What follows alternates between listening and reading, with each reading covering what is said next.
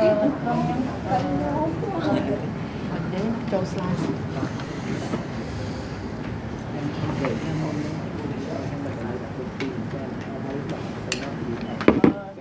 បទស្រាយទី1អឺវាទៅជា frequency distribution by point ចា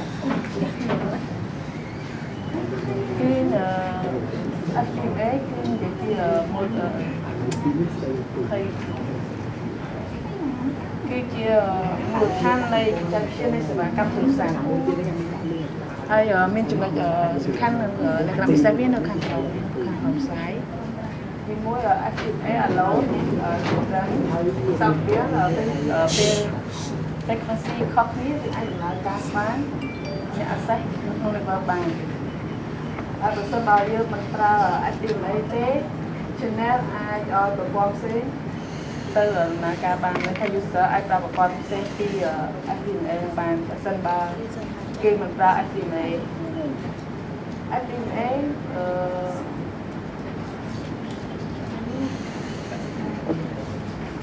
អត់អឺ FTA វាមានលក្ខណៈអឺជាជាងមានន័យថាប្រព័ន្ធវាពេលយើងចូលទៅវាមានលក្ខណៈចង្អៀតស្មុគស្មាញវានោះគេឲ្យ access ទៅវាមានលក្ខណៈស្មុគស្មាញជាង TD អេហើយគេប្រើថៃ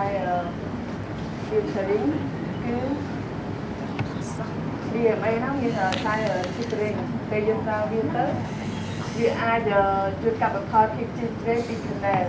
នៅពេលដែលយើងប្រើឧទាហរណ៍ប្រព័ន្ធហ្នឹងវាមិនទៅមានប្រព័ន្ធផ្សេងហ្នឹងវាមកជាជ្រែក channel ផ្សេងមកជាជ្រែកនោះវា FTA ហ្នឹងវាមាន type filtering ថៃ ហើយបើ S VS និង MS ហ្នឹងវា transmit and receive ហ្នឹងដំណើរគ្នាមានន័យថាវាទទួលហើយនឹងទទួលដំណើរគ្នានៅក្នុង FDMA គុណ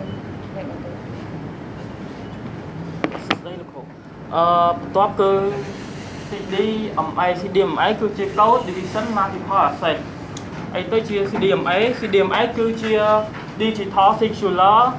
technology ដែលប្រើប្រាស់នៅក្នុង mobile station សម្រាប់ communication ហើយ CDMA ក៏ជា multiple access ដែល user ច្រើនសម្រាប់ share ហើយនឹងប្រើប្រាស់ channel resource ដែលគេហៅថា code to power ហើយ CDMA វាមានច្រើនតែខ្ញុំថ្ងៃនេះនិយាយតាមពី CDMA channel ព្រោះវាក៏ជាផ្នែកមួយសំខាន់របស់ CDMA ដែរអញ្ចឹង CDMA គឺវាកាត់ឡើងដោយសារពីរគឺ forward channel និង reverse channel forward channel គឺដូចជាពេលដែលយើងបញ្ជូន signal បញ្ជូនព័ត៌មានឬក៏ទិន្នន័យទៅពី mobile station ទៅ antenna ហើយព័ត៌មានត្រឡប់មកពី antenna ហើយមក mobile station នេះគេហៅថា reverse channel ចឹង forward channel ចែកចេញជា4គឺ pilot channel, synchronization channel, packing channel និង forward traffic channel ហើយអឺ access អឺ reverse channel ក៏មានពីរដែរគឺ access channel និង reverse traffic channel តិចទៀតខ្ញុំនឹងប្រាប់អត់មិនជាអីគេ អូខេអឺ pilot channel pilot channel គឺជា channel reference ដែលវាប្រើប្រាស់សម្រាប់ mobile station សម្រាប់ដៃទទួលសម្រាប់ទទួល time និង path reference ដែលសម្រាប់តំណាក់សំណងទៅនឹង demodulation ដែលវាជា continuously transmit ហើយគ្រប់ mobile station ទាំងអស់វា signal វាមានលក្ខណៈជា continuously ហើយបន្តមកទៀតគឺទី2គឺ synchronize channel synchronization channel វាគឺនាំ signal ហើយវា repeat message ដែលទទួលព័ត៌មានពី mobile station ហើយ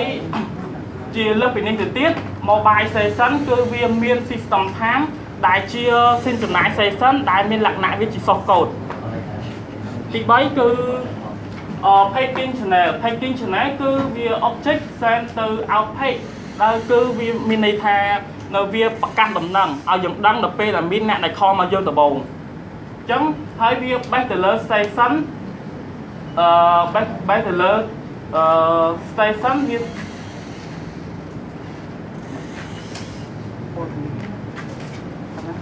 អឺទី4គឺ forward traffic channel forward traffic channel គឺជាកូដរបស់ channel វាប្រើប្រាស់សម្រាប់ assign call ជាធម្មតា voice ហើយនឹង signal traffic គឺវាមាន user ផ្សេងគ្នាតមកទៀតគឺ reverse channel reverse channel គឺជា channel ដែលពី mobile ទៅ call direct សម្រាប់ communication ហើយវាកើតឡើងដោយសារការ follow អាពីខាងក្រោមគឺ asset channel គឺ asset channel គឺជាអី asset channel គឺជា user គឺជា mobile station ដែលសម្រាប់ communication ជាមួយនឹង base station ឬក៏ packing channel ហើយ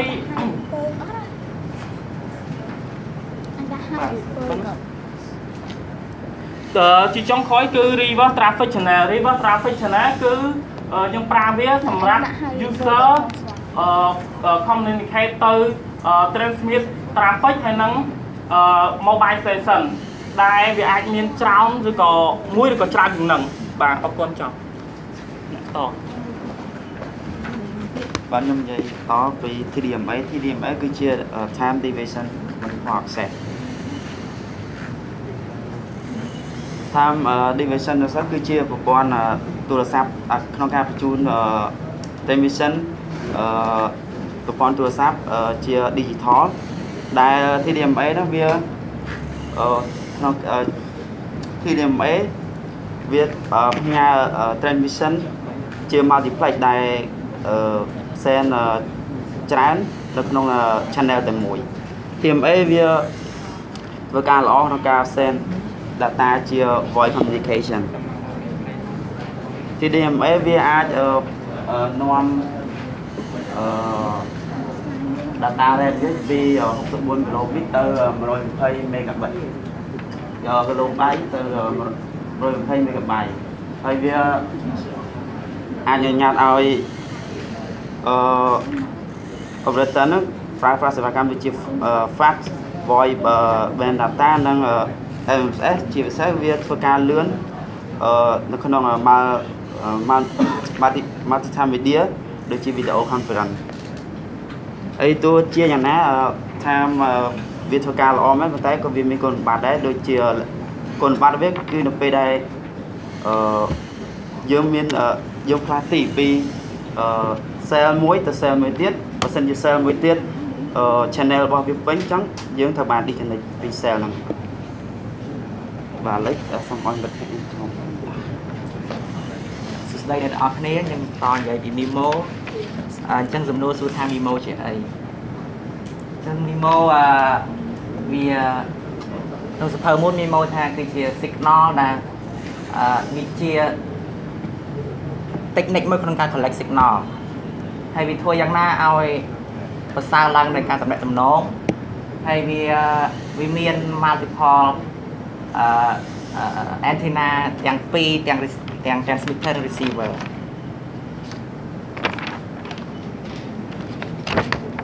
តមកទៀតនិយាយពី basic របស់ MIMO ក្នុង MIMO វាមាន fading ដែលវា affect ទៅលើ channel ចឹងវាធ្វើឲ្យកើតមានឡើងនៅអឺ noise radio ratio ហើយនិង error rate ដូច្នេះដើម្បី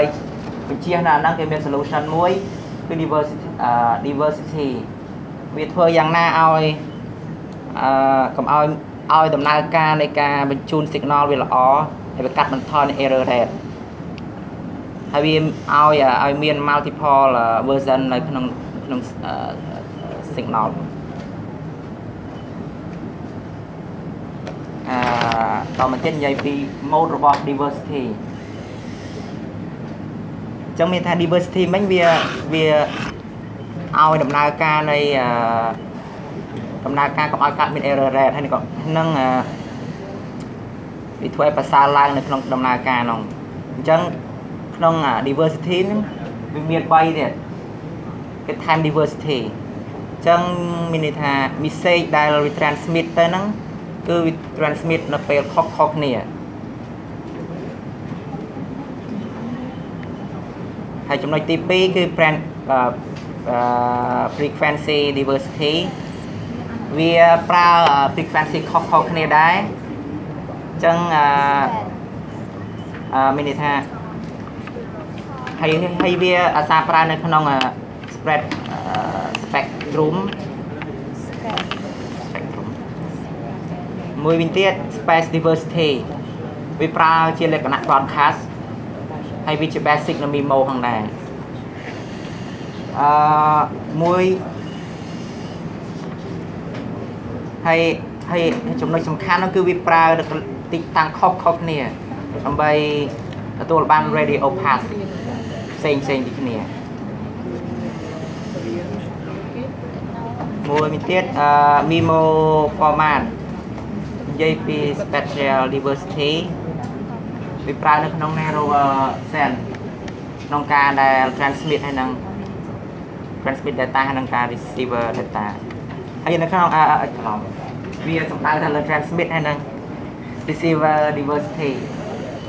ហើយទាំងពីរហ្នឹងវាផ្ដល់ឲ្យវាផ្ដល់ធ្វើម៉េចដំណើរការ signal ហ្នឹងវាកាត់បន្ថយនៅ noise ratio ហើយក៏ដូចជា reliability system ដែរហ្នឹងដែរហើយចំណុចចុងក្រោយ spatial spatial multiplexing វាផ្ដល់នៅ data capacity ហើយភាសាខ្ញុំ present ដល់ពីរខ្ញុំដាក់មួយទៀតតទៅនឹង frequency hopping spread uh, speed spectrum ចឹងអានឹងជាអី ចឹងវាជាវិធីសាស្ត្រមួយក្នុងការដែលបញ្ជូនអឺ signal របស់ radio radio ហើយធ្វើយ៉ាងណា switch carrier នៅអឺ switch carrier នៅ frequency ខុសខុសគ្នាដោយប្រើប្រាស់អឺអឺអឺ pseudo random pseudo random អាអា pseudo random ជាអីអូយស៊ូពីហ្នឹងអាលើសំចៃញ៉ៃ pseudo random ហ្នឹងវា generate algorithm ដោយប្រើប្រាស់ initial seed ហើយវាកំណត់នៅ algorithm ហើយគេថាវាមិនវាមិនតែងតែ random ទេបើសិនជាមួយទៀត សិនបើអាអា algorithm ល្អអញ្ចឹងលទ្ធផលវាចេញមកគឺមានន័យថាមកពីវាធ្វើការ test នៃ random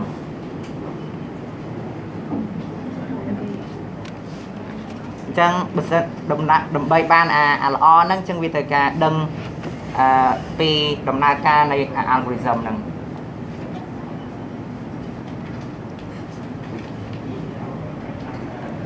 ហើយមួយវិញទៀតប្រភេទនៃ frequency hopping វាមាន slow មាន fast អឺ slow ហ្នឹងគឺ data មួយឬក៏ច្រើនដែលវា transmit ជាមួយនឹងអឺហុកតែមួយឯងហុកវាមានច្រើនវា multi ហុកវាមានអឺអឺអាមួយហុកអញ្ចឹងអា slow frequency ហ្នឹង វាធ្វើយ៉ាងណាឲ្យ data វាល្អហើយមួយវិញទៀតវាអឺវាកាត់បន្ថយនៅអឺ error ចឹងបើសិនជាមាន error វាវា restore ឡើងវិញអា error ហ្នឹងហើយអាច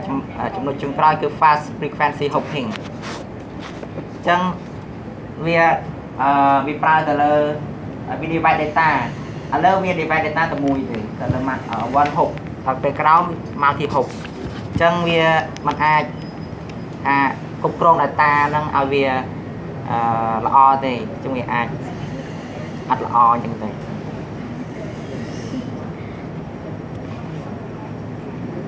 ហើយនេះជាការប្រៀបធៀបរវាង slow ហើយនិង fast មិញដូចបាននិយាយហើយ data ខាង slow វា transmit តាមកហូបទេពេលខាងខាង fast វា transmit ជាលក្ខណៈ multi hop ហើយអា slow ហ្នឹងអឺ data data ដែលវាចេញមកវាវាល្អតែពេល fast ដូចលឺផលអ្វីដែលលឿនវាទៅល្អមែនហើយនៅនៅហើយ fast វាមាន error error control យ៉ាងដែរ ទៅនឹងការអនុវត្តនៃ FHSS វាអនុវត្តទៅលើ military Bluetooth ហើយនិង radio ផ្សេងទៀតខ្ញុំអត់សុំលម្អិតពីហ្នឹងទេភាសាច្រើនសុំចោល